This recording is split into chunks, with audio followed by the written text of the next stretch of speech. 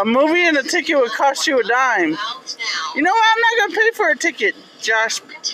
Josh. Security, we got a problem in theater seven, ma'am.